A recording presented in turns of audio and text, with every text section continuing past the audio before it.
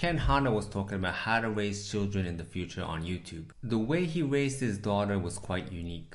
She was allowed to use all the money she wants and basically do whatever she wants in the house. When you hear this, don't you get worried of the child becoming a spoiled rat? That she might grow up being arrogant and think that she's the queen of the world. No, that definitely wasn't the case. But before that, let me ask you what is the purpose? What is the ideal goal of raising a child? Is it to make them become rich or famous? Is it to get them in an elite university and get a high income job? What is it? Ken Honda says it's to make the child love who they are, to have the confidence inside them that they think they're all right. You might say if they're poor and don't have a job, how in the world can they love who they are? They should feel miserable, and that's why I need to make my child study hard. The world isn't that simple. Ken Honda would say it's all about the decision how the parents want to raise their child how much time and effort they want to put into them. If you want your kids to become financially free, you need to give them the freedom to use money as they wish.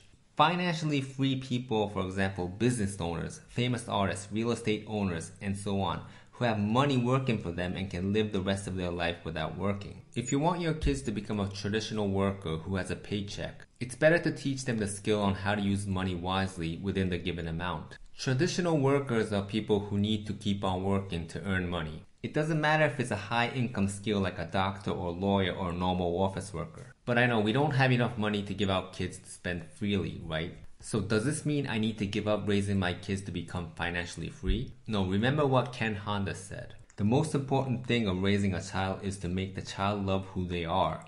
To have the confidence inside them that they think they're all right.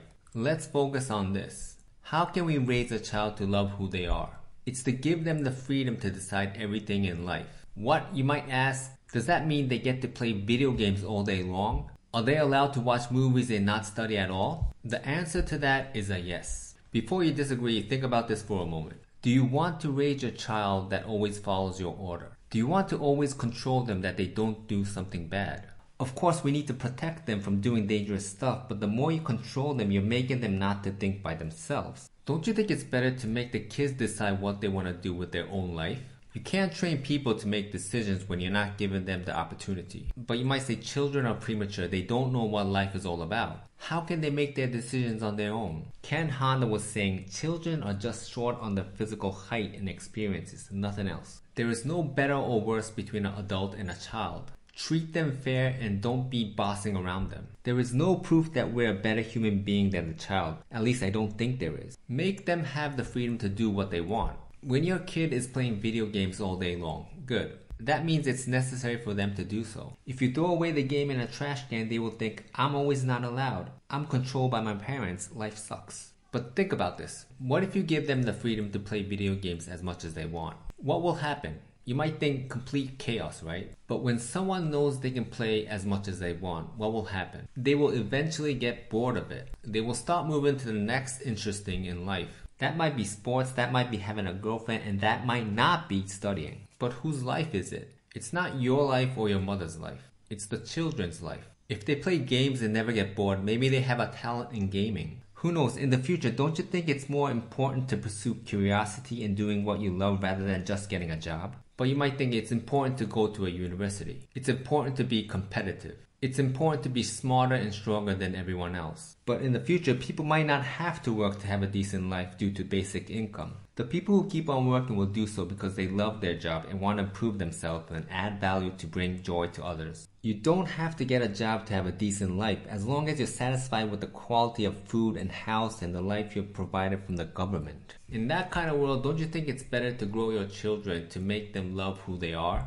Feeling independent and making decisions on what they want to do in life. Enjoying every single moment in their life to be able to enjoy earning money by doing the thing they love and use money with fulfillment and gratitude. To be able to find their talent and work on cultivating that talent so it can bring impact and make other people happy. Ken Honda was saying in the late 21st century, group housing will become more popular.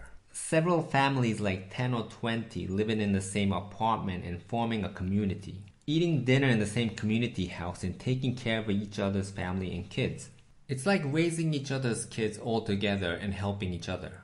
This form was normal many years ago, and only recently families got separated due to urban migration and single families made out of parents and children increased. To be honest, don't you think it's a hell of a lot of a job to raise your kids these days? It's quite mission impossible to have a job and raise your kids at the same time. And most of the pressure and stress goes to the mothers. In the future, it will become a co-work to raise kids inside the community. People helping each other and kids will get inspired by many different adults in the community and be able to choose freely what they want to be. So to sum up the key points, the purpose of raising a child is to make them love who they are. To have the confidence inside them that they think they're alright. In order to make children be able to decide everything by themselves, we need to let go of the control. The question we need to ask ourselves is do you always want to have full control of your children or do you want them to be independent and make them decide what they want to do with their own life? Only the parents can choose which path they want to take. But in the future or in any era, people maximizing their talent and sharing it to the world always leads to fulfillment in life. There is no right answer, but choose wisely what makes sense to you and your family. If you like this video, I'm sure you will love this one over here too. And if you're new here, hi, my name is Joey, and this channel is about self-development tips to change your mindset and change your life. So if this sounds good to you, please consider subscribing and hit that notification bell. If you like this video, please give it a thumbs up, and I'll see you in the next video. Bye bye.